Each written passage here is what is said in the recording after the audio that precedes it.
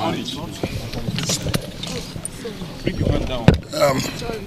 I'll throw back the question to you. You, as a human being, are you, are you happy seeing such a situation? I mean, it's very, very unfortunate. Um, so many leaders meant well, but those of us who have the opportunity to be those that will benefit from it at the end of the day, we sit back the whole essence of good leadership. I told you we came here for the ECOWAS inauguration sometimes last week by Mr. President. No right-thinking human being for an international location of that nature will see the state of this facility and will be happy. In fact, during that inauguration, Mr. Uh, president called my attention. Even the lighting system was so poor. We have gone around. You and I know that it is unacceptable. There's no way we can accept this as an international conference center. You can call it a conference center, but not international. There's no standard compared. So we decided that we can't continue to be embarrassed in this uh, way. So we're sorry to announce this.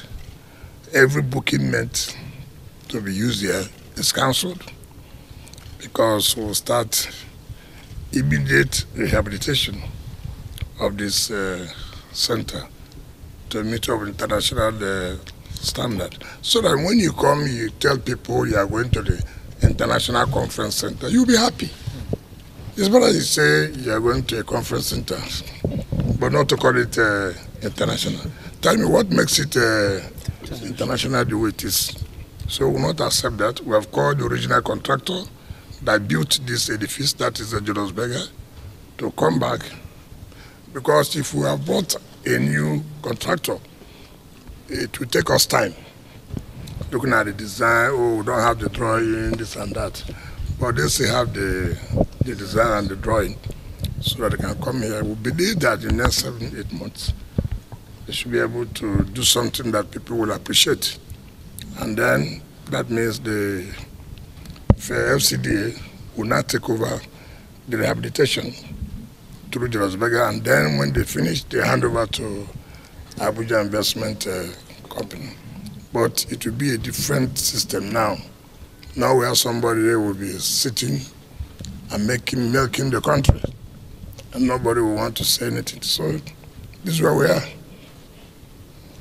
Your, Your Excellency, sir, uh, beyond uh, the renovation, sir, uh, the Abuja investment has said that uh, funds that are legitimately meant to be paid to the FCDA to the investment has not been paid in the last three years.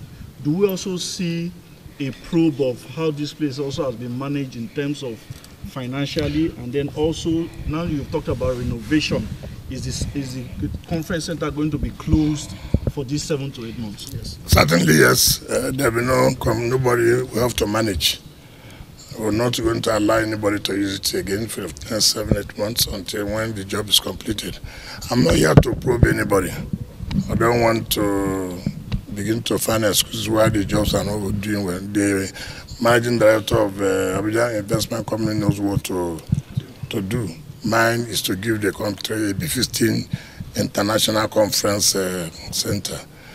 And if she does not do it well, well, we have no choice to wear the big uh, stick, you know. But I believe she has the capacity to to run it well. So I'm not here to prove anybody. I just want to move on and let the work be, be done. Thank you, sir. On this note, we wish the Honorable Minister a happy Salah in advance.